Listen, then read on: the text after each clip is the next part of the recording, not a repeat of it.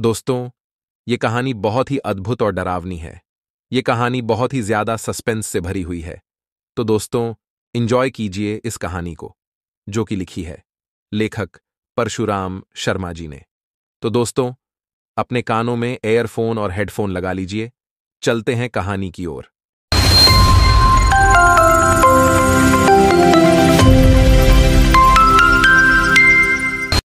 अंधेरा इतना सघन और ठोस था कि छुआ जा सके। कभी अंधेरे को छूती और कभी कभार चीरती हई रोशनी का स्रोत दिख रहा था। सन्नाटे में डूबी सड़क पर एक यही उजाला था, जो कमान से छूटे तीर की तरह इस प्रकार भाग रहा था, जैसे गगन की तारीकी से एक सितारा टूटकर पृथ्वी के गुरुत्वाकर्षण पर खिंचा चला आ रहा हो यह अकेली इमारत जैसे उसे खींचती जा रही थी। सिर्फ़ एक लाइट, यू कहिए कि एक हेडलाइट। बिल्कुल अलग अलग आवाज़ धक धक से साफ़ महसूस हो रहा था कि वह कोई मोटरसाइकिल है। अनुभवी इंसान यदि सुनता तो यही कहता, कोई साढ़े तीन हॉर्स पावर की अकेली गाड़ी, बुलेट रायलन फ़ील्ड है। इस बुलेट के समान छूटकर भागने वाला बुलेट की रफ्तार भी अस्सी नब्बे किलोमीटर से कम नहीं थी। पता नहीं, उसका चालक सनसनाती बर्फ़ के समान ठंडी हवा को किस प्रकार चीर रहा था। इतनी तेज रफ्तार और ऐसी ठंडक में तो वह अकड़ कर जम जाता। ज़ाहिर था कि उस इंसान का शरीर भी असाधारण होगा, और बुलेट का चालक सोचता रहा था, पता नहीं क्या मुसीबत है, ठीक इस गाड़ी की तरह उसकी ज़िंदगी भी भाग रही है। हर बार वह मंजिल को छूता है, मगर वहाँ उसे सिर्फ़ इतना ही पता लगता है कि मंजिल बहुत दूर है, वह तो केवल एक मोड़ पर पहुँचा है। एक मुसीबत से छुटकारा मिलता है तो दूसरी सामने आ जाती है, दूसरी के बाद तीसरी जैसे आगे आगे मुसीबतों का तांता बंधा है। वह चाहता तो बड़े आराम से बैठे बैठे जीवन का आनंद लूट सकता था, किंतु उसकी सनक ने जीवन दूसरे ही मोड़ पर खड़ा कर लिया था। बाप की जायदाद से वह अपनी हरकतों के कारण कभी का बेदखल हो गया था। समाज में उसे गुंडा, लफंगा या चोर उचक्का न समझा जाए, इसके लिए उसने एक क्राइम न्यूज़ पेपर की एड ले रखी थी। यह समाचार पत्र भी कभी कभी छप जाता था और लोगों की निगाहों में इसका संपादक, मनमौजी और जाहिल किस्म का था। चूँकि इस समाचार पत्र में मूर्खतापूर्ण विषय को लेकर ही समाचार छापा जाता था, जो हँसी का साधन था, इसलिए लोग इसे चाव से पढ़ते भी थे। पिछले दिनों समाचार पत्र में छपा था कि इसका एक खास रिपोर्टर और प्रमुख संपादक शादी करने का फैसला कर चुका है, किंतु वह सिर्फ़ मंगल ग्रह की लड़की से रिश्ता स्वीकार करेगा। मंगल ग्रह उसकी ससुराल होगी और राकेटों से बरात जाएगी सन छिहत्तर में। उसने तो यहाँ तक हद की थी कि एक मंगल ग्रह की लड़की का कार्टून भी छापा था और गारंटी दी थी कि उस ग्रह में इस नमूने की लड़कियाँ पैदा होती हैं। कार्टून का चेहरा किसी लड़की का ही फोटोग्राफ था और समाचार छपे आज पांचवा दिन गुजरा था, अर्थात पांचवी रात। इस समाचार पत्र का रिपोर्टर मोटरसाइकिल से इस प्रकार दौड़ लगा रहा था जैसे गोया चुपचाप इसी प्रकार मंगल ग्रह पहुँच जाएगा। यह हज़रत थे क्राइम रिपोर्टर रमन। एक खास भारत की गुप्त संस्था का नंबर दो एजेंट, ब्लैक टाइगर संस्था का यह नंबर दो एजेंट, मूर्ख किस्म का युवक था। और इस बात का पता इसके समाचार पत्र में कार्य करने वाले लोगों, यहाँ तक कि उसके सेक्रेटरी तक को नहीं था, कि रमन देश का एक विशेष जिम्मेदार एजेंट भी है। और जब कभी वह गायब रहता है तो संस्था के मिशन पर होता है। ब्लैक फोर्स की इस दूसरी ब्रांच संस्था का चीफ रंजीत था, जिसका सीधा संपर्क गृह मंत्रालय से था। इस संस्था ने अब तक अनेक केसों पर विजय प्राप्त की थी और अपराध जगत में आतंक फैला दिया था। अमेरिका की सीआईए जैसी गुप्त संस्था इससे थर्रा गई थी। बड़े बड़े इंटरनेशनल ऑपरेशनों पर इस संस्था के एजेंटों ने भाग लिया था और दुनिया के प्रसिद्ध जासूसों में अपना स्थान बना लिया था। इसी संस्था का यह एजेंट आंधी तूफ़ान की तरह भाग रहा था। उसके शरीर पर चमड़े की जैकेट थी, हाथों में दस्ताने और सिर पर वही त्रिभुजाकार कैप जिसकी रंगत अब भारतीय झंडे के तीन रंगों से बनी थी। इतनी रात गए, वह अंधेरे का शीत, चीरता बढ़ रहा था। किंतु जल्दी ही वह गर्मी के स्रोत तक पहुँच जाना चाहता था, ताकि जिस्म की ठंडक भाग जाए। यह राउंड रोड तो मीलों लंबी थी। उसे पूरे रोड की मंजिल तय नहीं करनी थी। बंबई से कुछ मील दूर वह कस्बा था, जिसमें उसे पहुँचना था, और अब वह केवल पाँच किलोमीटर रह गया था। यह रास्ता भी पाँच मिनट में तय हो गया और रमन दी ग्रेट ठीक एक इमारत के फाटक पर पहुंचकर रुक गए। हार्न पर हार्न बज उठा। छोटे से कंपाउंड में रोशनी जल उठी। कंपाउंड में एक व्यक्ति ढीली चाल से चलता हुआ फाटक तक आया और रमन पर सीधा टार्च का प्रकाश फेंका। रमन ने बटेर की तरह चौंधिया कर पल के झपकाई। अरे भाई, बंद करो ये रोशनी। कम कम पाते स्वर में वह बोला, मैं आ गया हूँ, फाटक खोलो, जल्दी। मगर आप हैं कौन? उस व्यक्ति ने पूछा। रमन वहाँ पर ज़्यादा बहस नहीं करना चाहता था। अतः तुरंत उसने अपना परिचय दिया। अगर वह ठंड से जकड़ा न होता तो शायद कुछ देर तक इस व्यक्ति से उलझा अवश्य रहता। किंतु रमन के लिए वह व्यक्ति भी मक्कार निकला। वह चुपचाप उल्टे पाँव वापस चल दिया। अजीब उल्लू का पट्ठा है। रमन बड़बड़ाकर गाड़ी से उतर पड़ा और उसे घसीटता हुआ फाटक तक पहुँचा। उसने फाटक खोला, फिर सीधा कंपाउंड में।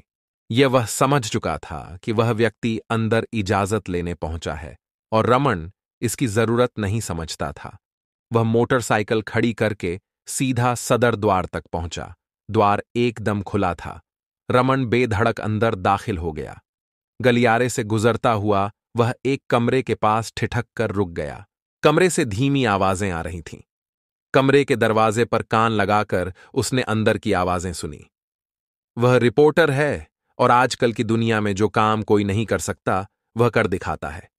तुम जाओ और आदर सहित उसे अंदर बुला लाओ। इसकी ज़रूरत नहीं। रमन ने दरवाज़ा खोल हुए कहा, मैं बिना लगाम का घोड़ा हूँ, न किसी का आदर करता हूँ और न आदर करवाता हूँ। ओह, तुम आ गए डार्लिंग! सुरीली आवाज़ वाली में एकदम पलट कर कहा, कृपया तहजीब से बात कीजिए। रमन ने दांत बजाते हुए कहा, इस समय दूसरे लोग नहीं पहुँचना चाहता। मुझे सालिड गर्मी की ज़रूरत है। इतना कहकर वह आतशदान की तरफ़ झपटा और कुर्सी पर बैठते ही ठंड भगाने लगा। आतशदान की सुलगती लकड़ियाँ उसके शरीर में जान डालने लगीं।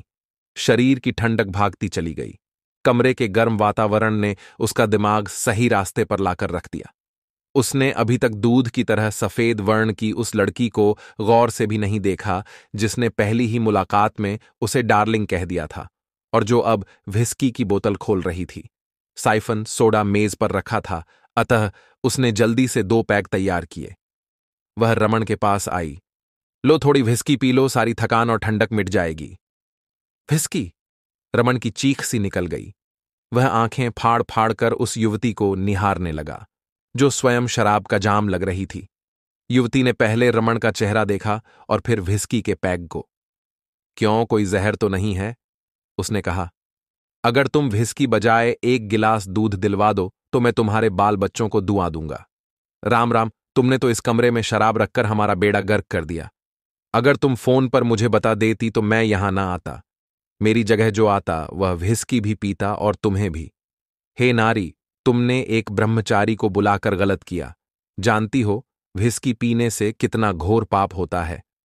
रमन की बात का जरा भी बुरा न मानकर वह मुस्कराई। नहीं जानती डार्लिंग। फिर वही डार्लिंग, मैं कहता हूँ तुम दिल्ली क्यों नहीं कहती? तभी तो इतनी ठंड में आया हूँ। डार्लिंग, प्यार भरा शब्द है। और दिल्ली तुमसे यह किसने कह दिया कि दिल्ली प्यार भरा शब्द नहीं है, दिल से दिल्ली बना है? रमन उससे उलझ गया। खैर, छोड़ो, क्या तुम सचमुच विस्की नहीं पीना पाते घर से निकालना चाहती हो? एक बार मैंने विस्की पी थी। मैंने अपनी मम्मी को बताया तो उन्होंने घर से गेट आउट कर दिया और आज तक गेट आउट हूँ। अब सोचो मान लिया, तुम मेरी मम्मी हो और तुम विस्की पीने के बाद मुझे गेट आउट नहीं कर दोगी। मैं सब समझता हूँ, इतना बुद्ध नहीं हूँ, ना बाबा, मैं घोर पाप नहीं करूँगा।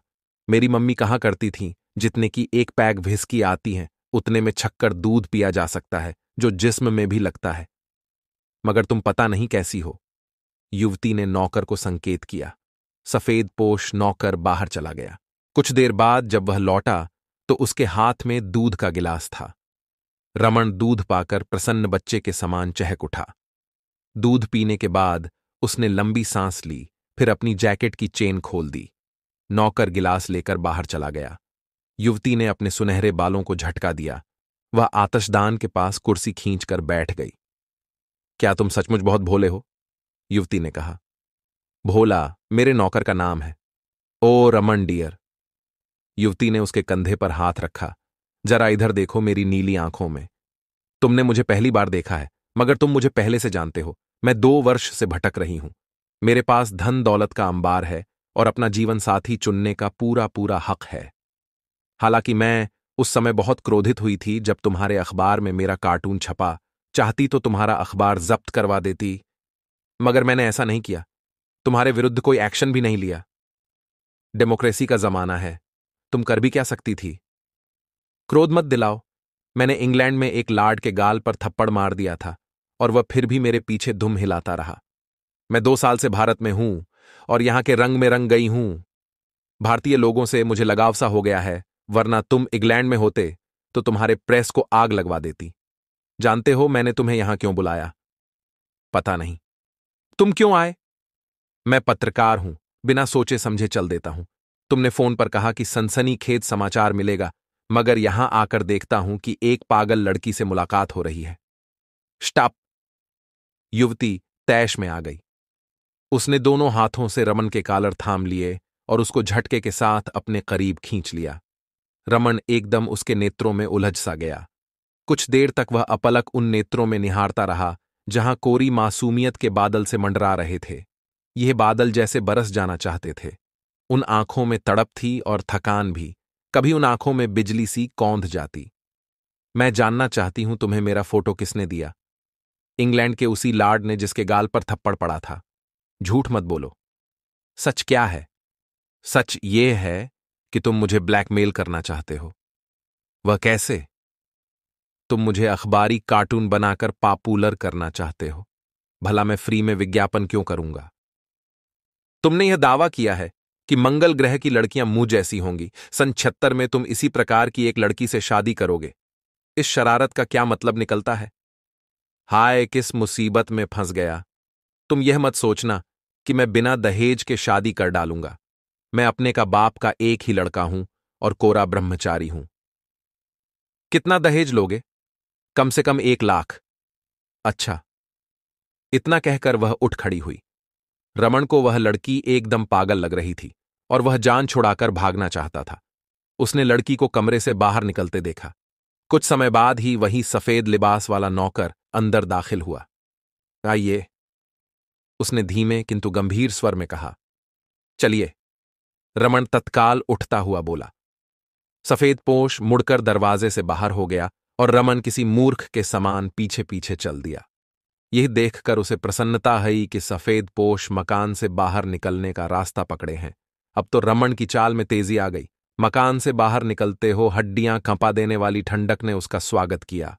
मोटरसाइकिल की ठंड याद आते ही एक बार गी वह सिर से पाँव तक काँप उठा और ठिठक कर रुक गया। रुकिए नहीं, सफ़ेद पोष ने कहा। परंतु ठंड बरामदे में दो कदम खिसक कर वह बोला, आपको मोटरसाइकिल से नहीं जाना होगा। आपके लिए कार की व्यवस्था कर दी है। Okay you are, goodbye. इतना कहकर रमन अकड़कर चल पड़ा। उसी समय एक कार सरसराती हुई बरामदे के सामने ठहर गई और सफ़ेद पोष ने उसका पिछला द्वार खोल दिया। कार के अंदर रोशनी थी और रोशनी में वह लड़की पिछली सीट पर बैठी नज़र आ रही थी। ड्राइविंग सीट पर काली खोपड़ी का मानव बैठा था। आ जाओ रिपोर्टर, तुम्हें दहेज का रुपया देने के बाद घर तक छोड़ आऊँगी। साथ ही वह समाचार भी दूँगी जिसका मूल्य एक लाख से भी ज़्यादा है। मुझे तुम पसंद आ गए हो और मैं तुम्हें किसी भी कीमत पर खरीदना चाहती हूँ। कमान रमन एकदम कार की सीट पर लुढ़क गया। कार का द्वार बंद हुआ और कार चल पड़ी। आखिर तुम मेरे पीछे क्यों पड़ गई हो? मुझे शादी नहीं करनी है। युवती खिलखिलाकर हंस पड़ी। फिर रमन के गले में बाहें डालकर बोली, अब नहीं बच पाओगे। मेरी भुजाओं की कैद बड़ी कठोर है, डियर। उसका स्वर रोमांटिक था। रमन सकपका गया। उसे लगा जैसे दो सर्प उसके गले में लोट लगा रहे हैं और कभी भी डसने के लिए तैयार हैं। उसने झटके के साथ बाहें गले से अलग की ओर कार का द्वार खोलने को झपटा, मगर द्वार नहीं खुला। युवती ने उसका हाथ पकड़कर खींचा और रमन बौखलाहट में शिशु के समान उसकी गोद में लुढ़क गया। उसकी सांस फूलने लगी। युवती ने उसे कसकर दबा दिया और निरंतर उसके होठ रमन के चेहरे पर झुक रहे थे। बाप रे, मुझ ब्रह्मचारी के साथ यह अन्याय न करो, पता नहीं तुम क्या करने जा रही हो। मुझे एक लाख नहीं चाहिए, मैं शादी नहीं करना चाहता। एक ज्योतिषी बताया कि हनीमून की रात मेरा हार्ट अटैक हो जाएगा, पत्नी विधवा हो जाएगी, और मैं किसी कन्या का भविष्य नहीं बिगाड़ना चाहता। मैं, किंतु आगे वह नहीं बोल सकता। उसके होठों पर जैसे लाल अंगारे पड़ चुके थे। दो प्यासी निगाहें उसकी आँखों में कुछ खोज रही थीं। उसने सहसा नेत्र बंद कर दिए। चाहकर भी वह अपने को छुड़ा न नका। कुछ क्षण बाद ही उसके पूरे शरीर में गर्मी की लहर दौड़ रही थी। कार से अधिक तीव्र रफ्तार से उसका दिल धड़कने लगा था। उसके होंठ बुरी तरह काँप रहे थे। ज़ुबान सूखने लगी थी। युवती उसे और भी कसने लगी थी। उसके दिमाग में दो ट्रेड थे। हनीमून, मौत। नहीं, सुहाग रात। ज़िंदगी की हसीन रात। यह युवती उसे मारना चाहती है। नहीं उसके शरीर में नए प्राण फूंकना चाहती है। युवती का गोरा हाथ उसकी नग्न छाती पर रेंग रहा था और सहसा उसे महसूस हुआ जैसे उसे नींद आती जा रही है। न जाने उसके अंदर क्या परिवर्तन हुआ। उसका शरीर निढाल सा हो गया। ब्लैक टाइगर संस्था के चीफ और नंबर एक एजेंट कर्नल रंजीत इन दिनों आराम फरमा रहा था। हाल ही में वह ढाका से लौटा था और अपनी शानदार इमारत हीर पैलेस में खूब गुलछरें उड़ा रहा था। हीयर पैलेस में नौकरों के अलावा मालिक सिर्फ़ दो थे। छोटा मालिक बेबी अमर था, जो इन दिनों किसी प्रशिक्षण के लिए बाहर गया था। हियर पैलेस में रंजीत एक प्रिंस की हैसियत से रहता था और उसकी हर शान राजकुमारों जैसी थी। यह इमारत लड़कियों के मामले में खास बदनाम थी, फिर भी विगत कुछ माह से रंजीत ने रोमांस से लगभग संन्यास ले लिया था और पैलेस में प्रमिकाओं का आना जाना लगभग बाद हो रहा था। इसका प्रमुख कारण तो यही था कि रंजीत काफ़ी दिनों बाद पैलेस में नज़र आ रहा था। इस समय उसके सामने अखबार था और एक नवीन समाचार पर उसकी निगाह टिकी थी। कैबरे डांसर के एक चित्र पर उसकी निगाह जमी थी और उसे ऐसा लगा जैसे उसने इस डांसर को पहले भी कहीं देखा है। यूँ सैकड़ों लड़कियाँ उसकी निगाहों से आम गुजरती थी, किंतु कुछ सूरत वह दिमाग में बैठा लेता था और जो सूरत उसके दिमाग में बैठ जाती वह निरुद्देश्य नहीं होती थी। जलपान की मेज पर बैठा रंजीत इस विज्ञापन के बारे में सोच रहा था।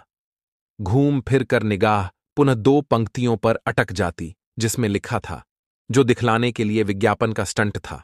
लिखा था, आज भी सोच रही हूँ सिर्फ़ इसलिए कि तुम्हारी इंतज़ार है, और तुम एक दिन ज़रूर आओगे, और वह रात मेरे जीवन की आखिरी रात होगी। मैं तुम्हें उपहार देना चाहती हूँ।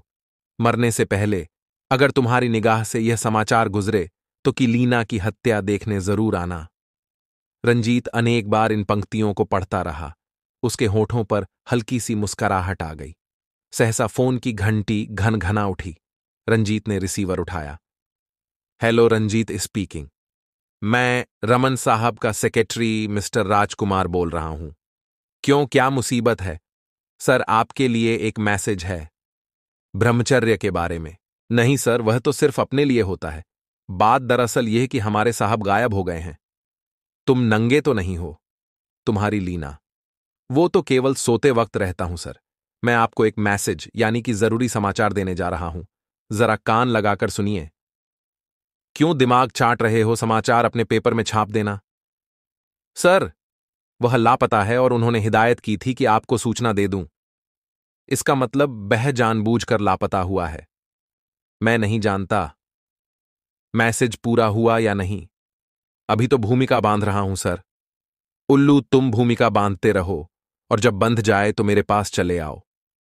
इतना कहकर रंजीत ने फ़ोन रख दिया। अगले ही पल उसने रायल डी लीरा क्लब के लिए फ़ोन किया। रात के प्रोग्राम पर उसने अपनी सीट बुक कराई और बाथरूम की तरफ़ बढ़ गया। बाथरूम से निकला तो घंटी फिर टनटना उठी। कमबख्त रंजीत बड़बड़ाया। उसने रिसीवर उठाया और रमन के सेक्रेटरी को गालियाँ सुनाने लगा, किंतु दूसरे ही पल उसे चौंक जाना पड़ा, क्योंकि इस बार फ़ोन पर जौहर का स्वर सुनाई दे रहा था। रंजीत, आज रात मैं तुम्हें डी लीरा नाइट क्लब में मिलूँगा, शायद तुम वहाँ अपनी सीट बुक करा चुके हो। तुम तुम ज़िंदा हो भूत। तुमसे पहले मैं नहीं मरना चाहता। पुराने विषय को छोड़ो, फ़ोन पर कुछ नहीं कहूँगा। हाँ इतना ज़रूर कहूँगा कि तुम्हारा फितरती शारगिद रात एक हवास लड़की से मिलने गया था और उस लड़की का नाम लीना कैबरे डांसर है। एक और बात, मगर ठहरो, मैं बताने में असमर्थ हूँ। रात के समय में तुमसे क्लब में मिल लूँगा। सुनो, मगर फ़ोन कट गया। रंजीत के माथे पर तनाव आ गया। कुछ देर तक वह फ़ोन को घूरता रहा और तत्काल कुछ ख्याल आते ही उसने रमन के फ्लैट का नंबर डायल किया। फ़ोन रामकुमार ने ही उठाया। रंजीत ने उसे तुरंत हियर प्लेस आने की हिदायत दी और ड्रेसिंग रूम में समा गया। Royal De Lira night club में आज रात लीना का प्रोग्राम था, जिसका विज्ञापन विगत एक सप्ताह से छप रहा था, किंतु लीना का चित्र आज के अखबार में ही छप रहा था। जौहर का इस ओर दिलचस्पी लेना चकित कर देने वाली बात थी। Ranjit Royal De Lira club के बारे में सोचने लगा। हाल ही में इस नाइट क्लब का उद्घाटन हुआ था और थोड़े से समय के अंदर इस क्लब का मालिक घटिया किस्म का साप्ताहिक पत्र निकालता था, जिसे एक करोड़पति ने मानहानि का दावा दायर करके ठप करवा दिया था और अखबार के मालिक पर ब्लैकमेलिंग के सबूत अदालत में रख दिए थे। किंतु बी लीरा का मालिक बरी हो गया। उसके बाद उसने अखबार निकालना बंद कर दिया। एक साल तक वह बंबई से बाहर रहा और जब लौटा तो लखपति बनकर। क्लब पर लगे धन के कागजातों से पता लगा कि उसने उसी सेठ से, जिसने मुकदमा चलाया था, कर्जा लिया और बाहर रहकर बिज़नेस किया। क्लब खोलने के बाद भी वह दस लाख का कर्जदार था। कुछ भी हो, बहरहाल क्लब था। बहुत शानदार रात्रि के समय उसके चमकते स्काई लेटर ऐसे लगते थे, जैसे किसी अप्सरा का दिल धड़क रहा हो और इंसान बरबस रायल डी लीरा की तरफ़ खिंचता चला जाता। क्लब एकांत में बना था। पीछे सुंदर बगिया के बीच तैरने के लिए खूबसूरत तालाब था। इस झील के पीछे से रेतीला मैदान शुरू हो जाता था, जो समुद्र तट तक था। समुद्र के किनारे होने के कारण इसकी शोभा पर चार चाँद लग गए थे। रेतीले तट पर भी जगह जगह छतरियाँ लगाई गई थीं। इन छतरियों के नीचे भी फर्नीचर लगा रहता था। ये सब ड्यूलीरा क्लब का था। समुद्र तट पर दिन के समय अच्छी खासी चहल पहल रहती थी। रंजीत को यह घटना अच्छी प्रकार याद थी जब एक संदिग्ध व्यक्ति की मौत अचानक इस तट पर हो गई थी और जब उसकी तलाशी ली गई तो उसकी बेल्ट में छोटे छोटे कप्सूलों के पैकेट प्राप्त हुए। डॉक्टरी जाँच से पता चला कि कैप्सूल एक प्रकार की तेज, नशीली वस्तु है, किंतु वह जिस फार्मूले से तैयार की गई, इसे डॉक्टर नहीं जान पाए थे। उस कत्ल की छानबीन अभी तक पुलिस कर रही थी और इस केस की जाँच करने वाले इंस्पेक्टर मैथिल ने अत्यंत संदिग्ध रिपोर्ट तैयार की थी। इंस्पेक्टर मैथिल का कथन था कि लंबे पैमाने पर यह हरे कैप्सूल क्लब के ज़रिए स्मगल होते हैं, जो व्यक्ति इस कैप्सूल का आदि बन जाता है, वह इसके बिना ज़िंदा भी नहीं रह सकता। इस प्रकार यह एक प्रकार का जहर भी था। क्लब का मालिक मधुसूदन रंजीत की लिस्ट में भी था, किंतु अभी तक कोई ऐसा संयोग प्राप्त नहीं हुआ था जिसके आधार पर यह मधुसूदन को अपना शिकार बना सके। कुछ समय गुजरते ही रमन को पी। ए, रामकुमार के आगमन की सूचना मिली। रंजीत ने उसे सीधा प्राइवेट रूम में बुलवा लिया। रामकुमार सिर से पाँव तक टेक्निकलर पोशाक में था। यहाँ बैठो, मी रामू भड़बूजे वाला। अब ऑब्जेक्शन सर मेरा नाम रामकुमार वर्मा है। शायद तुम्हारी कोई प्रेमिका नहीं है। जिस दिन हम प्रेमिका के बारे में सोचेगा, हमारा बास हमको शूट कर देगा। यही कारण है तुम्हारी मूर्खता का। जी हम किधर से मूर्ख नज़र आता है? चारों तरफ़ से। अगर तुम मूर्ख न होते तो ये शब्द रामू पर ऑब्जेक्शन नहीं उठा सकते, क्योंकि तुम्हारा प्यार भरा नाम रामू ही बन सकता है। जब तुम्हारी प्रेमिका तुम्हें प्यार से रामू कहती तो तुम्हें स्वर्ग की अनुभूति होती। तुम्हें नहीं मालूम कि शार्ट नेम में कितनी मिठास होती है। खैर, जाने दो। क्या खबर लाए हो? खबर। रामकुमार सोते से जागा। ओह, है। वह तो भूल ही गया था। मैंने उस लिफाफे को काफ़ी संभाल कर रखा है। बाँस का कुछ पता नहीं लग पा रहा है। उन्होंने मुझे हिदायत दी थी कि अगर वह चौबीस घंटे तक नहीं लौट पाए तो आपको लिफाफा दे दूँ। वह लिफाफा कहाँ है?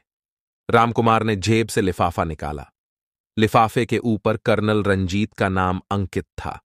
रंजीत ने लिफाफा फाड़ा और एक सादा कागज़ निकालकर हाथ में ले लिया। अगले ही पल उसने रामकुमार के गाल पर थप्पड़ जमा दिया। रामकुमार एकदम कुर्सी सहित लुढ़कता चला गया। उसने भयभीत पंक्षी की तरह नेत्र फड़फड़ाकर रंजीत को देखा और फर्श से उठने का साहस तनिक भी नहीं किया। उठो, रंजीत गरजा। नहीं, दोबारा नहीं गिरना चाहता। बाप रे, अब की बार तो गर्दन की नस चटक जाएगी। उठो, सुअर। मैं साबित करना चाहता हूँ कि तुम कितने मूर्ख हो। म, मूर्ख नहीं हूँ। रंजीत ने उसका कालर पकड़कर झटका दिया। रामकुमार को उठना ही पड़ा। उसके चेहरे पर बौखलाहट के लक्षण थे। उसकी समझ में ये बात जरा भी नहीं आई कि उसे थप्पड़ क्यों पड़ा। पढ़ो इस कागज़ में क्या लिखा है? ये पढ़ता हूँ। वह हकलाया और फिर वह पढ़ते ही चौंक पड़ा। फिर चिल्लाकर बोला आज ही इस नौकरी को इस्तीफा दूँगा। अभी एट वंस। बकवास मत करो वरना दांत तोड़ दूँगा। इसे ज़ोर से पढ़ो। रामकुमार का चेहरा रोष से भरा था, मगर थप्पड़ की याद आते ही उसका दिमाग एकदम ठिकाने आ गया। गाल सहलाते हुए उसने कागज़ पढ़ा। अपने सामने बैठे मूर्ख को थप्पड़ मारो, क्योंकि वह तुम जैसे बेवकूफ़ के पास आया है। यही संदेश था, रंजीत ने पूछा। सर, बास, ऐसा नहीं लिख सकता। उन्होंने मेरा नमक, सारी मैंने उनका खाया है, और मैं नमक के प्रति वफादार हूँ। ये पत्र टाइप किया हुआ है, जबकि मैंने देखा था, वह अपने लेटर पैड पर कलम से लिखते जा रहे थे कि लिफाफा भी आप तक पहुँचा दूँ, इसमें कोई तस्वीर भी रखी गई थी। रंजीत ने सिगरेट सुलगाई। अचानक वह बोला, सिगरेट पियोगे? नहीं सर, मैं सिर्फ़ ठंडा पानी पीऊँगा। तो ठंडा पानी पीकर यहाँ बैठो। इतना कहकर रंजीत ने उससे कागज़ छीन लिया और सिगरेट के लगातार कश खींचने लगा। कागज़ और लिफाफा लिए टहलता रहा। फिर उसने दोनों वस्तुओं पर एक प्रकार का पाउडर छिड़का और एक यंत्र पर झुक गया। वह कैमरा नुमा यंत्र था, लगभग दस मिनट तक सन्नाटा छाया रहा। मिस्टर रामू अबजे शटाब बाकी शब्द रामू के गले में ही अटक गए। उसने अब किसी पर ऑब्जेक्शन उठाना उचित नहीं समझा। रामू, ये बताओ, जब तुम्हारे पास लिफाफा बंद कर रहे थे, तुम कहाँ खड़े थे? उनसे तीन फुट दूर।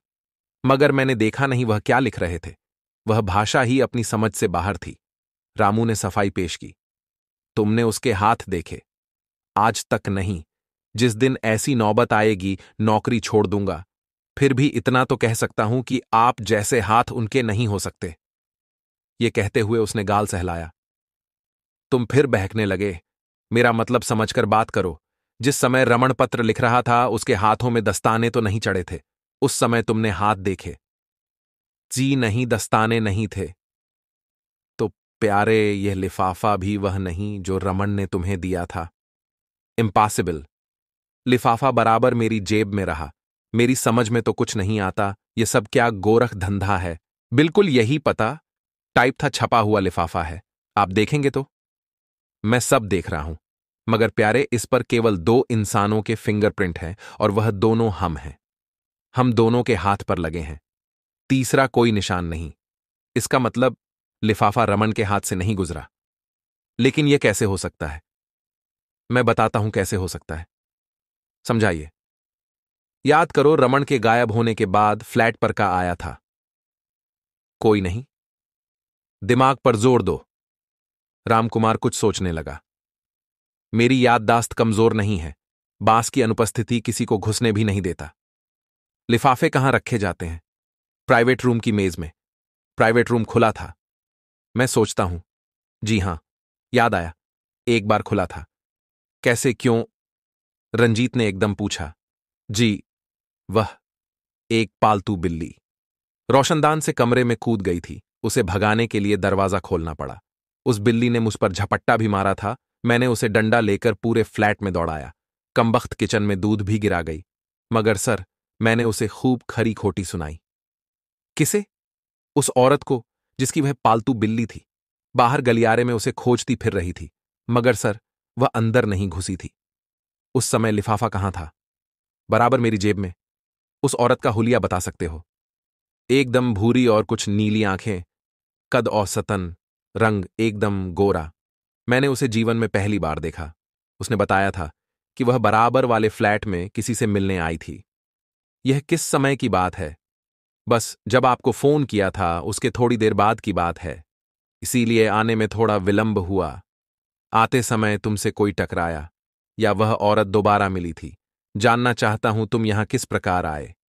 चूँकि मुझे वैसे ही थोड़ी देर हो गई थी, और एकदम खाली टैक्सी मुझे मिली नहीं, जिस टैक्सी वाले ने मुझे बैठाया, उसमें एक आदमी पहले से बैठा था। उसे भी इसी इलाके में आना था। मुझसे पहले ही वह इस इलाके में दाखिल होते हुए उतर गया था। उस आदमी की सूरत याद है। अच्छी तरह नाक थोड़ी छपटी और भौं के पास वास्तविक विशेष पहचान है। तुरंत रंजीत सेफ़ के पास पहुँचा। उसने खाना खोला और जब वह पलटा तो उसके हाथ में एक फ़ाइल नुमा एल्बम था। इस आदमी के हाथ में दस्ताने थे।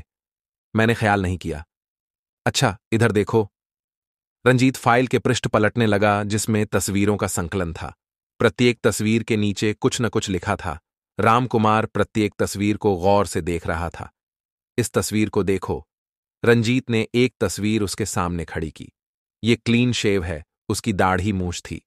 सहसा वह चौंका, फिर बोला, यह तिल बिल्कुल ऐसा ही मगर दाढ़ी मूछ नकली भी हो सकती हैं। यही था सर, मगर आपके पास इसकी तस्वीर कहाँ से आई? समझे कुछ। मेरी समझ में तो कुछ भी नहीं आ रहा। तब तुम कभी नहीं समझोगे। इतना कहकर रंजीत टेलीफोन की तरफ़ झपट्टा और रामकुमार फ़ोटो ही देखता रह गया। रंजीत ने फ़ोन पर नंबर डायल किए।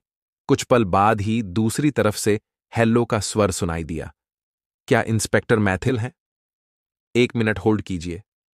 एक मिनट बाद ही इंस्पेक्टर मैथिल का स्वर सुनाई दिया। Yes, inspector Maithil this side. मैं रंजीत बोल रहा हूँ। कहिए, प्रिंस, कैसे याद किया? खैरियत तो है।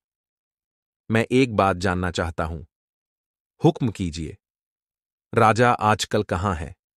कौन राजा? इतनी जल्दी भूल गए, वही राजा, जिसे आपने हवाई अड्डे पर गिरफ़्तार किया था, जिसका दावा था कि दुनिया की कोई पुलिस उसके विरुद्ध प्रमाण नहीं जुटा सकती, जो अपना ज़्यादातर काम जानवरों के ज़रिए लेता है। मैं समझ गया। क्या आपको उसकी तलाश है? Yes, inspector. इस समय वह जमानत पर छूटा है। मैं उसका पता नोट करा देता हूँ। धन्यवाद, इंस्पेक्टर। मैथिल ने पता नोट करवा दिया। राजा आजकल सिंघाईपुरा जैसी बदनाम बस्ती में रह रहा था। रंजीत ने उसका पता दिमाग में नोट कर लिया और फ़ोन रखने के बाद रामकुमार को दफ़ा हो जाने के लिए कहा। यह बात ज़ाहिर हो चुकी थी कि उस लिफाफे को बड़ी सफ़ाई से गायब कर दिया गया था, जिसे रमन उस तक पहुंचाना चाहता था। बिल्ली का ज़िक्र सुनते ही रंजीत का ध्यान सीधा राजा की तरफ़ गया था। उसने अपना लिबास पहना और हीर पैलेस से गाड़ी निकालकर रवाना हो गया। कुछ देर बाद ही उसकी कार सिंघाई पूरा गुंजान आबादी में दौड़ लगा रही थी। खूब भरपूर दोपहरी में वह राजा के मकान पर पहुँच गया। राजा जिस कोठीनुमा इमारत में रह रहा था, वह सामान्य वातावरण से कुछ अलग अलग बनी थी। जब रंजीत कार से उतरा तो फाटक पर ही दरबान ने उसका रास्ता रोक लिया। रंजीत ने अपना परिचय पत्र उसके हाथ में रख दिया। यह कार्ड राजा तक पहुँचा दो। दरबान कार्ड लेकर चला गया और रंजीत सिगरेट सुलगाकर अपनी तीव्र दृष्टि से कोठी का मुआयना करने लगा।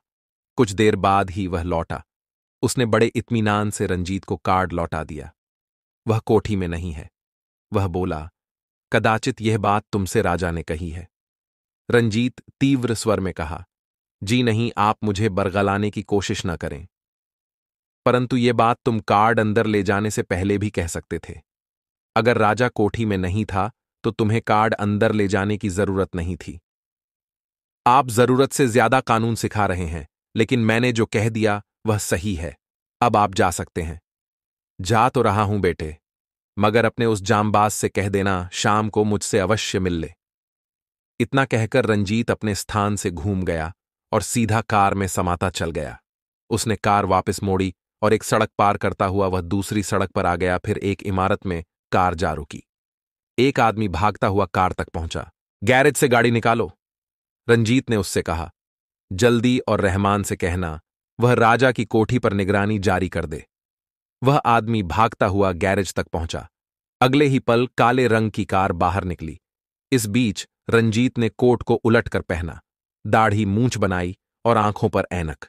बिजली किसी तेज़ी से वह उस गाड़ी को ड्राइव करता हुआ बाहर निकल गया। नगर में ऐसी अनेक इमारतें थीं, जिनका संबंध देश की मज़बूत संस्था ब्लैक टाइगर से था। वक्त, ज़रूरत पर इसका इस्तेमाल होता रहता था, चूँकि यह बस्ती आम तौर पर बदनाम थी। अतः ब्लैक टाइगर संस्था का छोटा सा अड्डा इस इलाके में भी था। करीब पाँच मिनट में ही यह कार पुनः उसी सड़क पर थी। रंजीत की शंका गलत नहीं थी। उसी सड़क पर कार दौड़ रही थी, जिसका पीछा रंजीत ने पकड़ लिया, क्योंकि उसने राजा की झलक पा ली थी। उसे विश्वास था कि राजा अंदर है, और उसके आगमन से बौखला गया है, और अब उसी बौखलाहट का परिणाम सामने था। वह काफ़ी जल्दी में जान पड़ता था, क्योंकि गाड़ी की रफ्तार ज़रूरत से ज़्यादा थी। रंजीत उसका अनुसरण सावधानी से कर रहा था। अगली कार कई सड़कों से गुजरती हुई नगर से बाहर निकलने वाली सड़क पर बढ़ गई। रंजीत का पीछा बराबर जारी रहा, किंतु सुनसान सड़क पर पीछा करने में उसे कठिनाई का सामना करना पड़ रहा था।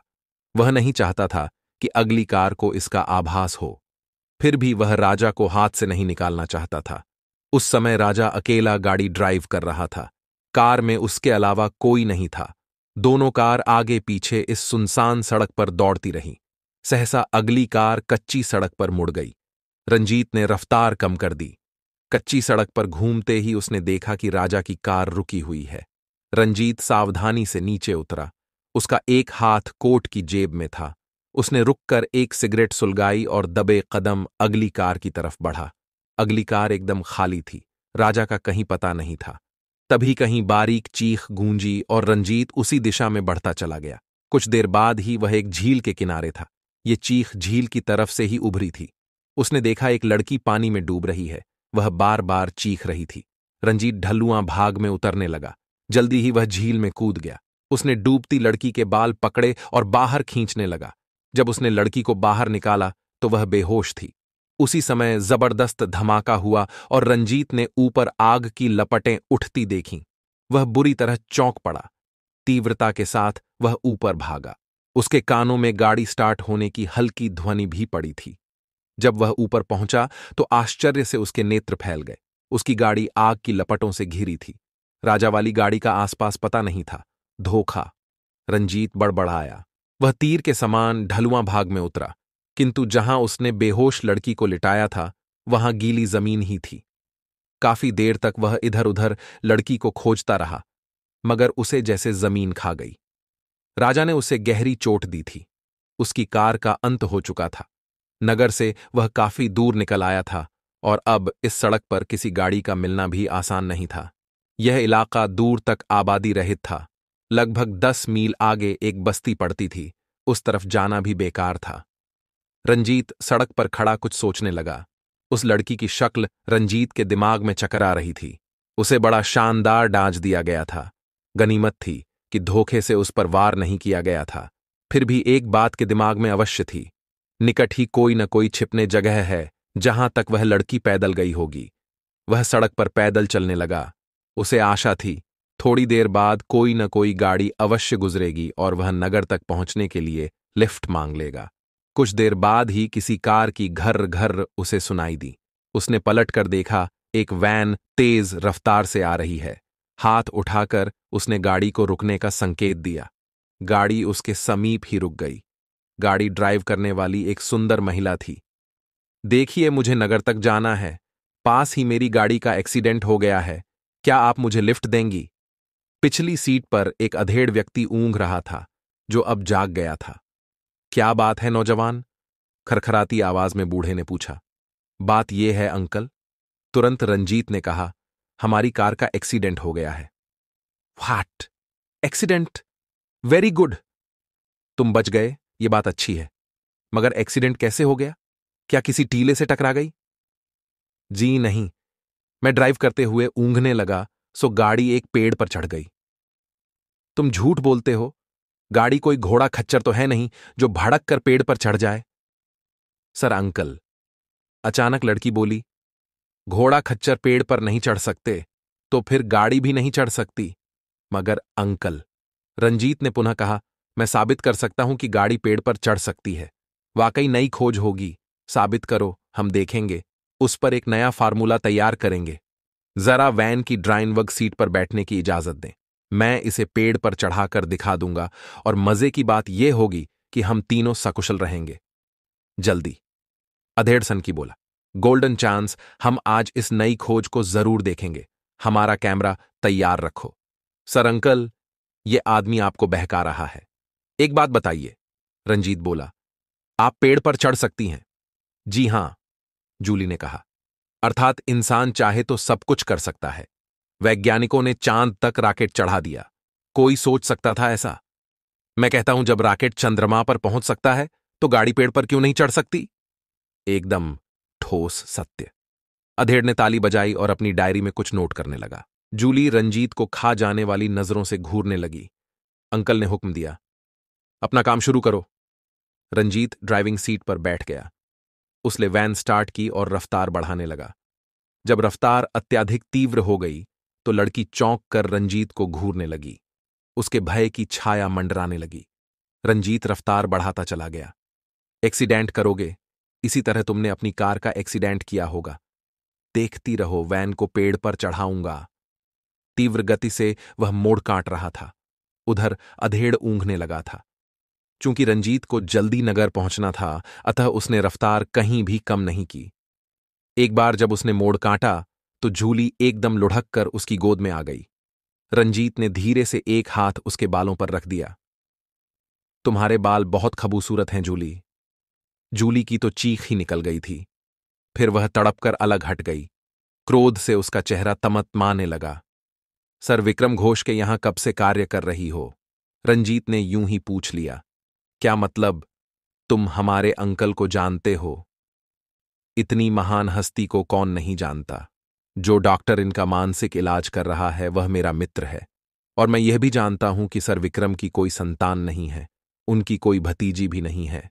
संतान को न पाने के कारण गम से घुटकर और इनके प्रयोगों से तंग आकर सर विक्रम की पत्नी ने आत्महत्या की थी, जिससे विक्रम मानसिक तौर से आधे पागल हो गए। अब भी उन्हें नए से नए प्रोग्राम और खोज की सूझती है। अगर उन्होंने सुन लिया तो यह और भी परेशान हो जाएँगे। अपने बाल नोचने लगेंगे, कपड़े फाड़ डालेंगे और हो सकता है कार से छलांग लगा दें। प्लीज़ इस विषय को मत छेड़ो। उसके चेहरे पर दर्द और विषाद के भाव नज़र आने लगे। मुझे उनसे हमदर्दी है और मैं उनके भटके हुए जीवन को सुधारना चाहती हूँ, वरना एक महान हस्ती का अंत हो जाएगा। मैं इनकी शिष्या हूँ। और सब कुछ त्याग कर इनकी सेवाएँ कर रही हूँ। खैर, छोड़ो, इस विषय को बिल्कुल छोड़ दो। चलो छोड़ दिया। शहर की सीमा आ गई। रंजीत ने रफ्तार कम कर दी। सर विक्रम अब भी ऊंघ रहे थे। तुम्हारा परिचय क्या है? जूली ने पूछा। मैं एक भटका हुआ सा मुसाफिर हूँ, जिसे किसी मंजिल की तलाश है। इतना कहकर रंजीत ने गाड़ी दूसरी सड़क पर मोड़ दी। ये तो परिचय नहीं हुआ। बस यही मेरा परिचय है। जानती हो मेरी मंजिल क्या है? भला मैं कैसे जान सकती हूँ? मेरी मंजिल है मौत। हाँ, जूली और मैं उस इंसान का एहसान कभी न भूल सकूँगा जो मुझे मेरी मंजिल तक पहुँचा दे। कमबख्त, आज भी तो बच गया मैं। इतना कहकर रंजीत ने वैन रोक दी। गाड़ी से उतरते हुए उसने उदास निगाह झूली के सुंदर चेहरे पर डाली। हो सकता है तुमसे फिर ज़िंदगी के किसी मोड़ पर मुलाकात हो जाए। क्योंकि इस दुनिया की रीत ही अजीब है। यहाँ इंसान यूँ ही मिलते हैं, बिछुड़ते हैं, फिर मिलते हैं, फिर बिछड़ जाते हैं। अंकल को ठीक से घर पहुँचा देना। इतना कहने के उपरांत रंजीत लंबे डग भरता हुआ आगे बढ़ गया। जूली कुछ देर तक ठगी सी उसे निहारती रही। वह तब चौंकी जब अंकल का भर्राया स्वर सुनाई दिया। हम सो गए थे, क्या गाड़ी पेड़ पर चढ़ाई? नहीं अंकल, अभी तो लगता है सिर्फ़ पटरी पर छड़ी है। फिर जूली ने गाड़ी स्टार्ट कर दी। रंजीत थका सा हीर पैलेस जा पहुँचा, तभी ब्लैंडी के साथ खेलता हुआ बेबी अमर अंदर घुसा। बेबी अमर चुस्त पोशाक में था और गुलेल उसके हाथ में उलझी थी। अंकल, आप कुछ उलझे नज़र आ रहे हैं। भतीजे एक उलझन से छुटकारा मिलता है तो दूसरी सामने आ जाती है। अपनी ज़िंदगी ही उलझन बन गई है। छोटा मुँह, बड़ी बात, अंकल। क्या मैं आपकी उलझन दूर कर सकता हूँ, कहते हैं कभी कभी छोटों का दिमाग बड़ी जल्दी काम कर जाता है। वहाँ बड़ों का दिमाग बड़ी जल्दी कोई अपराधी चोट दे गया। रंजीत मुस्करा दिया। तुम्हें कैसे मालूम हुआ कि कोई अपराधी चोट दे गया? अंकल, मैं सोता नहीं हूँ। बराबर जागता रहता हूँ। मैं तो यह भी बता सकता हूँ कि आप राजा की तलाश में गए थे। कौन है ये बदमाश? राजा, मैं गुलेल से निशाना बांधकर उसकी आँख फोड़ दूँगा। मगर तुम्हें कैसे मालूम हुआ? आखिर हम भतीजे किसके हैं? मैं दो तीन बातें और बता सकता हूँ। पहली बात तो यह है कि आप आज किसी लड़की के चक्कर में फिर फंस कर बहक गए।